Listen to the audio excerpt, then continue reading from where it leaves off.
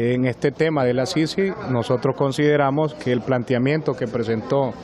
el diputado Zelaya con otros compañeros tiene algunas, eh, o está mal planteado primero, porque ellos dicen que se ejecuten 45 días, 45 días